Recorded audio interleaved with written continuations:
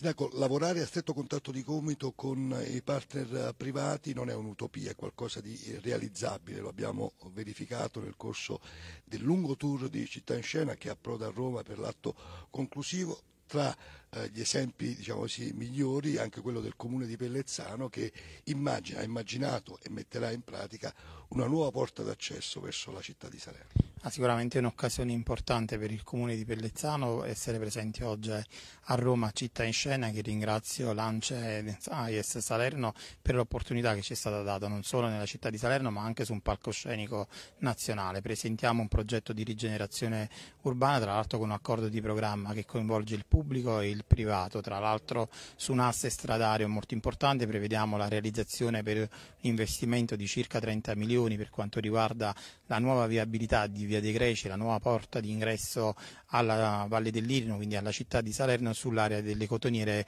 a Pellezzano, dove tra l'altro è previsto un intervento di rigenerazione urbana, quindi riqualificazione delle aree dismesse delle mh, lavorazioni, delle manifatture cotoniere meridionali, andiamo ad, uh, ad intervenire con un intervento importante attraverso quello che abbiamo previsto tra l'altro nel piano urbanistico comunale approvato lo scorso anno, quindi è un'occasione importante, presentiamo questo progetto di rigenerazione urbana che va su quella, eh, sulle misure di sostenibilità e a difesa del, consumo, della, difesa del consumo del suolo, ma soprattutto cerchiamo di portare avanti anche il potenziamento della viabilità su Via dei Greci, tra, dove tra l'altro è previsto lo svincolo autostradale della Salerno Avellino con l'allargamento, ma poi sono previste diverse insediamenti abitativi per circa 800 abitanti su quella zona e quindi c'è bisogno di una nuova viabilità e soprattutto di una nuova porta d'ingresso alla città di Salerno.